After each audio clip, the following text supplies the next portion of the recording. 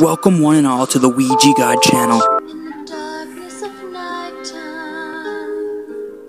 as you lay down to sleep, dreams we will meet. Finger for Love. It was the most brutal homicide I'd ever worked.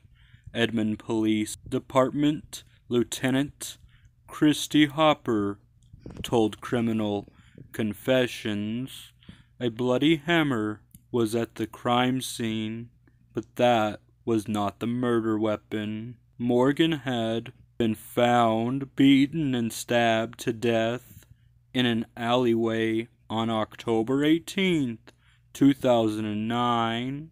He had suffered hundreds of puncture wounds, and one of his fingers had been severed and taken by the assailant.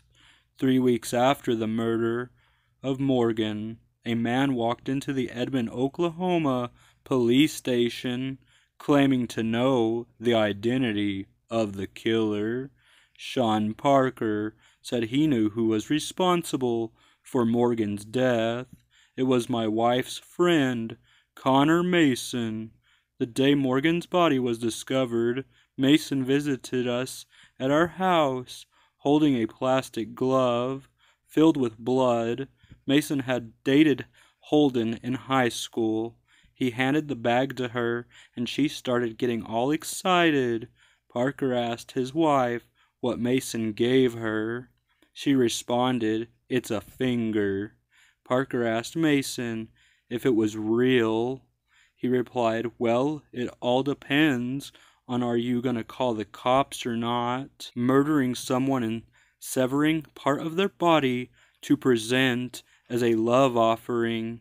It was just absolutely mind blowingly sick, Detective Kane said.